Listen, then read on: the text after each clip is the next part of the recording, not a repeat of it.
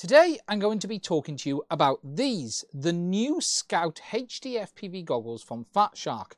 Now the Scout HDs are the first goggles from Fat Shark to have their Shark Byte digital FPV system built in as standard.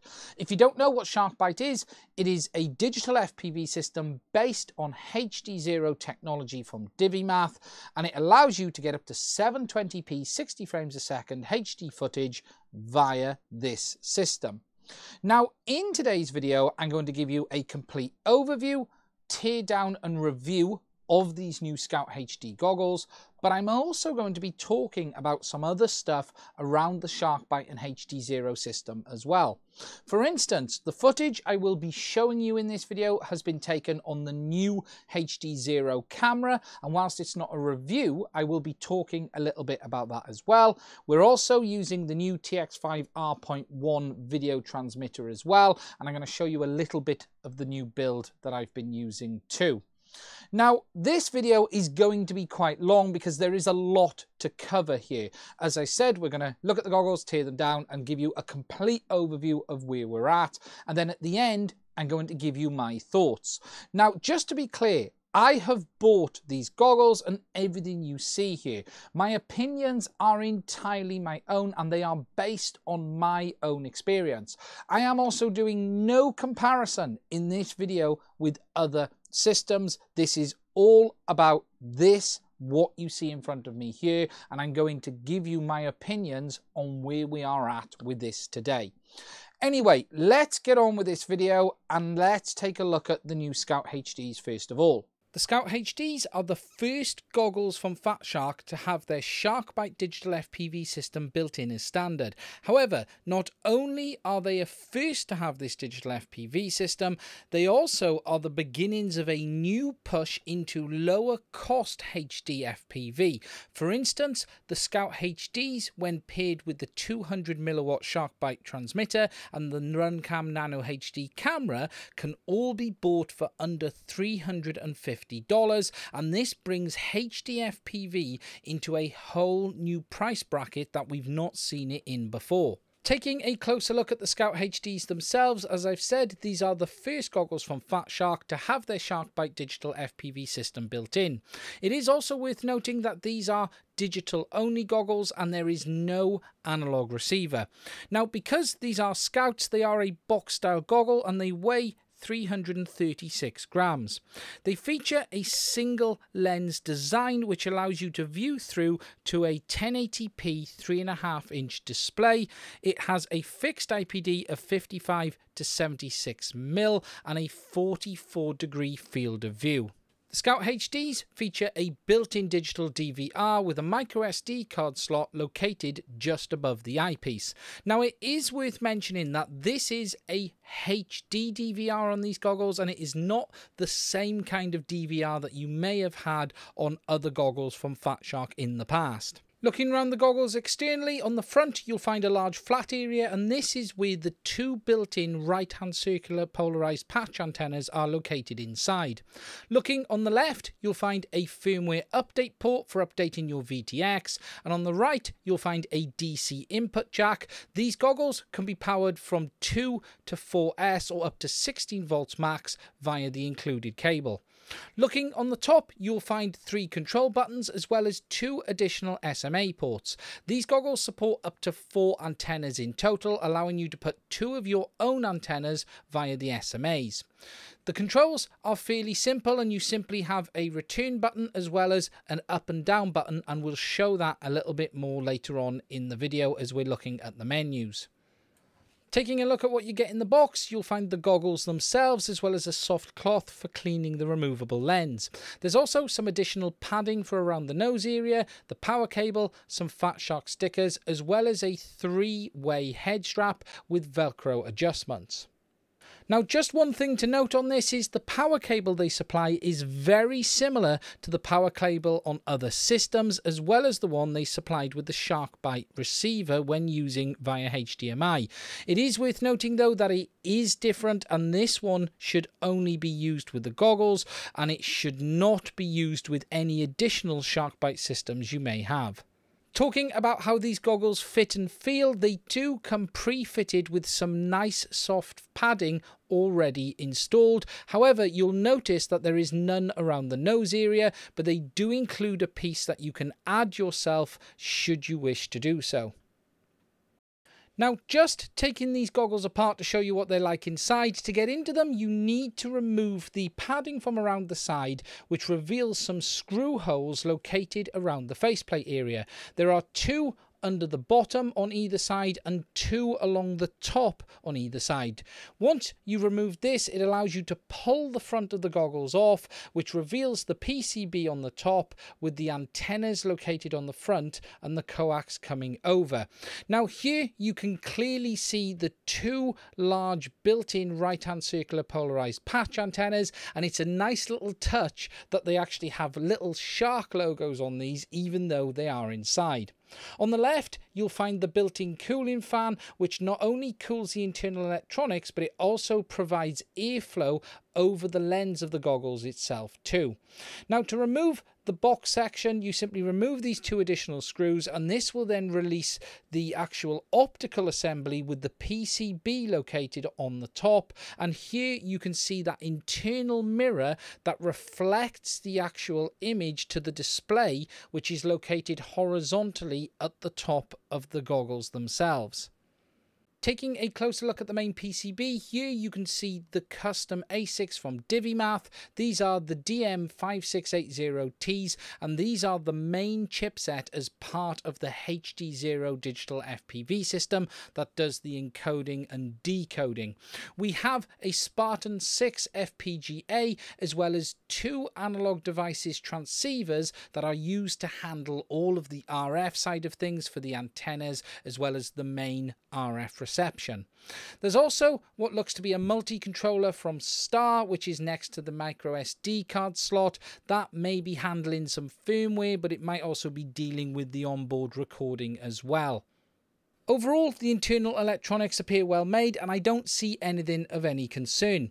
One thing just to note is that the two internal patch antennas are connected via UFL ports and I did find that my left hand one had a very tight cable and it actually kept popping the UFL connector off when I was trying to reassemble the goggles. It would have been nice if they'd have put just a little bit of adhesive or silicone on this just to stop them popping off in assembly. I don't think it will be a problem in use, but it just was something that I noticed on mine. Okay, so what I want to do next is walk you through some of the menus and options that are available on the Scout HD goggles. Now, these goggles don't have HDMI output, so what I'm going to do is actually show you this via the FatShark module, because basically the menu system on these is exactly the same. The goggles module has a couple of extra options that the Scout HDs don't, and I'll talk about them as we walk through, but basically this will allow me to do it over HDMI and record it. Now, at the moment, I've got the Runcam Nano camera set up with the new HD Zero lens, and that's what you're actually looking at me through right now. And this will allow me to actually enter the menu and walk you through that that way. Now, before we take a proper look at that, I just want to mention something that I haven't spoke about yet, is the fact that this system works more like analog the way the A side or the VTX connects to the ground unit. Basically, there is no binding, there is no linking. You have your VTX on the channel you want to transmit on, you put your receiver module on the channel you want to receive on, and as long as they're the same, you will get an image. This means you can use as many receiving modules as you want. You can use one, you can use two, it doesn't matter. They can be on the same channel and multiple people can look at the same image and you don't have to worry about anything like binding or anything like that. So to walk you guys through the menus, what I'm going to do is enter the main menu screen. And here you can see the list appear in front of us. At the top, we've got the option to scan, and this will simply tell the goggles or the module to scan all the channels and lock on just like it has there. So for instance, if I do that again, and if I actually turn off the A side module a second, and then tell it to scan again, you'll see this time it doesn't pick anything up because I've turned it off. And if I tell it to rescan, it just simply shows nothing. You have a nice spectrum analyzer screen, which has the channels 1 to 8, and it simply just shows you that we're not picking up anything. If I then now turn the module back on and give it a second, it'll actually scan automatically again, or I will tell it to do it, and boom, it's locked onto it, and we've gone straight back into the main screen. Going back into the menu, the next two options, which is HDMI output and aspect ratio, these are only available on the Fat Shark module and not the Scout HDs. There is no HDMI output on the Scout HD and there is no option to change the aspect ratio. This is simply limited to the goggles module so you can select 720p or 1080p and 4x3 or 16x9 on the module only. Next, moving down to playback, this allows you to play back the files that you've got recorded on the SD card. So here you can see some of the files that I recorded earlier as I was already making this video. If I play on it, you can see that's me talking earlier. So it just allows you to nice and easily play back the footage that you've previously recorded. The next option is to format SD card, which does what it says, simply format the SD card ready to use in the system. We have record mode, whether it be manual or auto. Auto will just start recording the second you put an SD card in or you power on the module, whereas manual, you actually have to trigger recording yourself. You then have the record format. Now, the latest firmware supports both the TS format and movie format. TS is better if you're going to be doing things just like pulling the power cable out the side of the goggles because it will still work. Whereas the movie format, you will need to make sure that you stop recording before powering down. Otherwise, the file won't get finished and it will be corrupt. So you can choose the one that best suits your needs you have the option to record the OSD. Now, this is the OSD sent to the system via your flight controller and the air unit. So this is the MSP OSD, canvas mode, etc. You can tell it to record it onto the DVR or not record it, depending on the option you want. We've got the option to turn auto scan on or off. We have antenna diagnostics. Now, this is a really nice little feature that shows you the bar graphs and it just shows you the performance of each of the antennas. You can see here on the module, it simply shows you it like that. And then on the goggles, it just shows you it with a slightly different picture, but the performance is basically the same. Moving down, we've then got the option for the VRX OSD, and you can turn this on and off. And just to show you what this is, this OSD is the one you can see up here in the top right hand corner. This is the OSD that shows the signal level from each of the antenna inputs, as well as the record indicator, which is the little grey round circle. So if I tell the unit to record, you will see that that goes red and that is now on the display. So what that option is, is simply the option to show that or not. The final option at the bottom is the About one, and that simply shows you the current information about the system, including the firmware version. So, looking over the menus, you can see that it is fairly easy and straightforward. And as I've said, the only real difference between the menu on the Scout HDs and the module is the fact that the Scout HDs don't have the HDMI output and they don't have the 16 by 9 option as you've seen there, but pretty much everything else is exactly the same. Okay, so it's time to show you guys a bit of footage. Now, I've recorded everything you're about to see on a new Shark Byte build, which is using the new HD Zero camera from Divimath. This is the one which is the Micro HD that is in beta and is going to be out in the near future.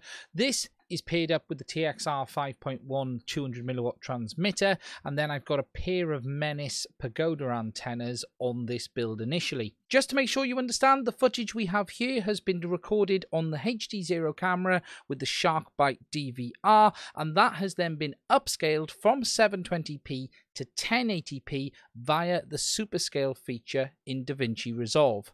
Now, this is just some basic flying. There's loads of race footage out there. There's tons of people shooting gates and all of that. So what I wanted to do is put together some very basic, easy flight footage to give you an idea of how this system looks and what my thoughts are on it.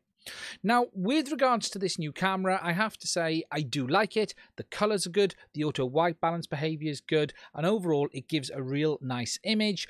There is quite a bit of fisheye on the lens on it, but that is to be expected with the lens it's got fitted.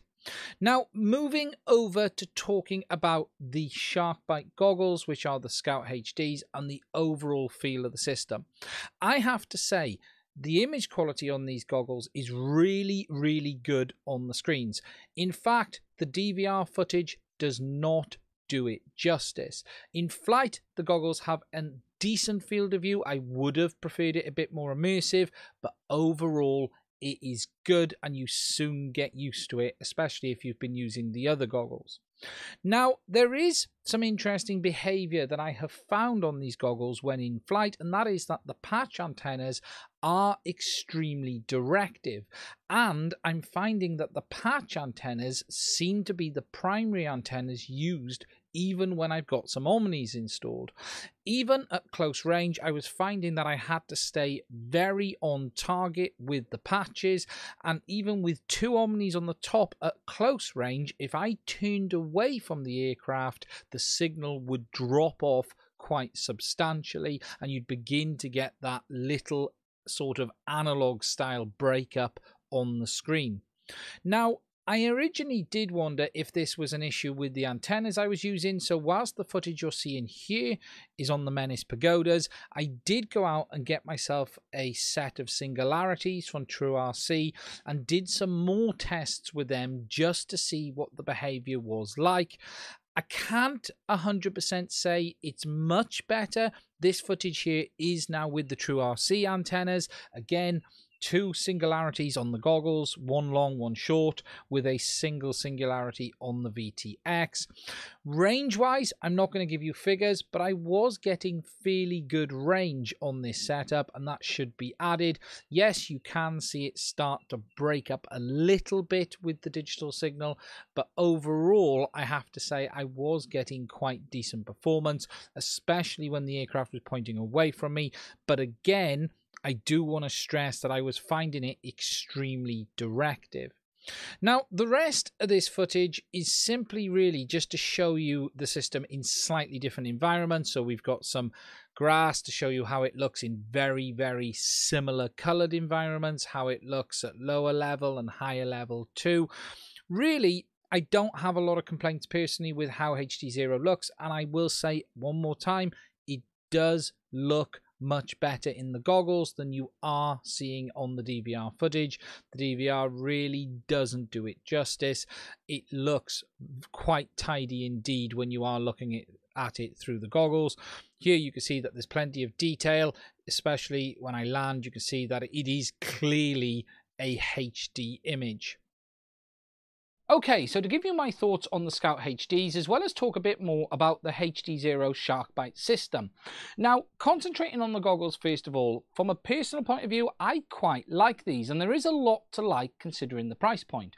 For $250, you're getting a set of digital FPV goggles with a built-in DVR, high-quality 1080p screen, and multiple antenna options.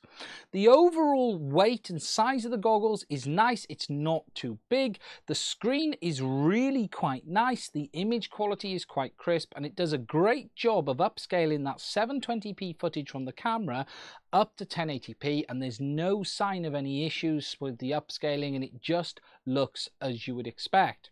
The DVR on this is okay. In my opinion, the image quality is still better in the goggles than actually on the DVR, but it is a proper digital DVR and hopefully we'll see some more improvements on that as time goes on.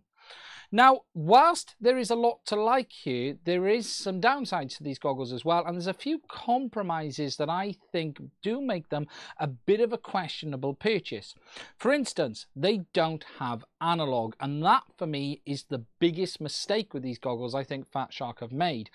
They appear to be aimed at the budget market, allowing people to get into digital FPV cheaper than ever before. Because remember, you can get these for $250, the camera and VTX for $100, which allows you to get a full digital FPV system for $350, and that is much cheaper than we've seen. However, it is forcing you digital and it just restricts the options that you have. I would have much preferred they had increased the price by $50 and put analog in or allow a bay on the side for plug a module in. There's not even an AV in on these, so analog is not an option. You are restricted to Shark Byte digital only.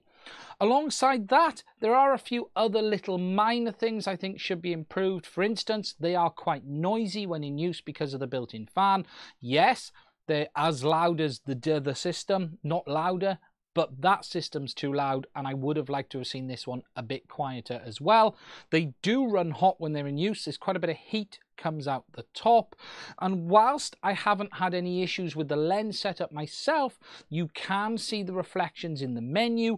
Personally, it's not an issue. It's only when you're in the menu system do you see the reflections off the internal glass, but it is something some people have picked up on. I personally have not seen it in flight and it's a non-issue for me, but it is something I did want to mention. One other thing I do want to mention around as well is the antenna setup on these. They are very directive. So you've got the two patch antennas built into the front and you do need to make sure that you stay dead on target, especially when flying a little bit at range. You do have the two SMAs for the extra antennas, but I'm personally finding the goggles seem to latch on the uh, patches more than the SMAs with the Omnis. I'm finding even at short range, the Omnis don't really seem to be doing anything and it is all on the patch antennas. And because they're dead straight and they're not actually angled out they do have a narrower field of view. And what you will find when you're flying is you do have to keep them dead on the aircraft, especially at range, and even a slight move out either way, you start to get breakup. On the module, they actually tilted the antennas out slightly on the patches to allow them to actually get a slightly wider field of view, and they probably should have done that on this. Inside, the PCB antenna is completely flat, and that's what's making it a bit narrower overall. Hopefully, we'll try and understand a bit more about how the antenna setup works on these because we don't fully understand it. But for me, they do appear to be latched on that patches rather than the Omnis more than anything. Overall, I have to say though, for $250, they are a really decent budget set of goggles and if you're someone who wants to get into digital FPV and you don't have a set of FPV goggles they are well worth a look. Now for me there is some questions of who they are designed for though because at the moment, HD Zero or Shark Byte, as I should be calling it, it's the same system, is being pushed more than anything towards racing. I'm not saying it can only be used for racing, but the real push on this system right now is to replace analog in sort of a racing environment. You can fly Bando, you can fly traditional FPV, you can do medium range, no problem at all on this system. But its primary focus appears to be racing, and I'm just not convinced these goggles are aimed at a racing market. They're more for me aimed at a new into FPV market, but there are some compromises on the HD Zero system or Shark Byte hopefully will be improved to make them a more viable option in that sense. I don't see people who are owning a set of HDO2s getting a set of these instead. People with goggles with HDMI input are just going to choose the module because you can get that for $99 at some places right now. So they are a bit confusing, mostly because they don't have that analog built in. If they had analog, it would be a no-brainer. It's just the fact that there isn't analog. It does, it sort of, for me, it gives me mixed feelings who they're for and what market they're aimed at, other than budget introduction into digital FPV. Now, to talk a bit about where HD Zero is at today, or Shark Byte is at, because HD Zero and Shark Byte are the same system. HD Zero are the chipset manufacturers, and Shark Byte is the name of the whole system via Fat Shark. Now, This system has been quite stagnant for the last year or so. Shark Byte has been out for a while and we saw very little change. However, in the last few months, a lot of stuff has been happening. We've got the new VTX, which is the TX5R.1, which I've got in this quad here. We've got these new goggles. We've got the new HD Zero camera, which I've got the beta of it in here as well. And the system has been having very regular updates via firmware from DiviMath, as well as updates from Fat Shark on where they intend it to go. Now, my opinion on this system as of today is as follows, and I just want to put this out there now. Not everyone is going to agree with this. This is as I am personally finding it today. From a latency point of view, this system is fantastic. It is fixed, it doesn't change, and that is one of the major benefits of this system as it stands today. Its downsides for me in my personal testing is penetration and range. Now, with regards to range, I can actually get quite a substantial distance on this system with the patches on this goggle. So range is achievable. However, it's the penetration element that I'm personally finding that the system lacks in. For instance, if I fly behind even very narrow hedges, it starts to break up when you're flying at range and you are not dead on or you turn the aircraft off, unless your goggles are perfectly on it, it starts to break up. The system just has very little overhead unless everything is perfect. Now, it is very much designed that way, and we should see some improvements on that come in the near future because there are rumors of a 1 watt VTX around the corner, and it's worth always remembering that the other system is capable up to 1200 milliwatts and a lot of people are flying at that. So it's very unfair to compare one to the other when they're not capable of the same power. I'm looking forward to seeing where this ends up with more power. Carl at DiviMath has also said some really interesting stuff around some improvements that could be made for the penetration side of things via reducing the frame rate or changing the camera settings. So for instance, if they were able to go for 720p 30 frames a second, it would allow reduction in bandwidth and that would improve range and penetration as well. However, it's going to be interesting to see where this 1 watt VTX takes it because that's a lot more power and that might be able to overcome some of the shortcomings that some of us are finding. Now, there are people who are having no problems with penetration at all on this system. I can only give you my opinion based on my own tests. I've tried multiple antennas. I've tried all different setups. It's not terrible, but I am of the opinion that it does lack in the areas, even compared to analog at places, based on the testing that I have done. Now, this system, though, is really in its stride from a development point point of view right now, and it is moving forward all of the time, and it's placed itself at a point that no other digital FPV system has been at. For instance, they just dropped the price of the goggles module on offer down to $99. So if you had a set of goggles with the HDMI input, you could use that. We've now got these for $250, and as I've already said, you can get a full digital setup for $350. And that is just half the cost of the other equivalent FPV system. My personal advice on HD Zero and Shark Byte today is this. If you're into racing and you want to go digital, it's a no-brainer. Get into it, see how you get on and try it. If you're into Bando and traditional FPV, it's going to get be mixed results for you depending on the areas you fly. If you're flying around a lot of foliage, you're going to find that penetration issue, especially if it's wet and damp. Around concrete areas could give you issues as well. If you're into long range, this really isn't for you yet, but don't think this system can't do decent range, especially if you're completely line of sight, because it will. And, and it really can offer some really nice image quality as well. I'm looking forward as well to seeing how this new camera turns out. Now, I do have the beta one here, but there's more improvements coming on that and more changes in the future as well. My overall thought on this is this. If you want to get into HD FPV on the cheapest possible price, this system is well worth a look.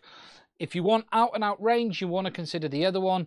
But if you want to support a system that is developing and moving forward, if you're happy to wait for some of the other features like out and out range and penetration, it is worth taking a look and worth considering jumping in now. And that is it from me. Now, please let me know what you think about this video, this system, your thoughts. I'm really interested in your comments and feedback and do put them in the comment section of this video and let me know what you think. Now, I'd like to thank you all for spending some time with me on this one. If you'd like to support the channel to enable us to keep making content like this, because we do buy all our own equipment when we're talking about it on stuff like this, and if you'd like to support us to be able to do that, there are links to buy me a coffee as well as Patreon in the description of this video. Also, if you want to hear more, there is a link to my Discord server as well, where you can come over and say hi. And again, as I've already said, if you have found it interesting, please do consider hitting that subscribe button as well, because by doing that, you will get updates on any new videos that we put out in the future. Anyway, that's it from me. Please do let me know what you think, and I will speak to you guys again soon.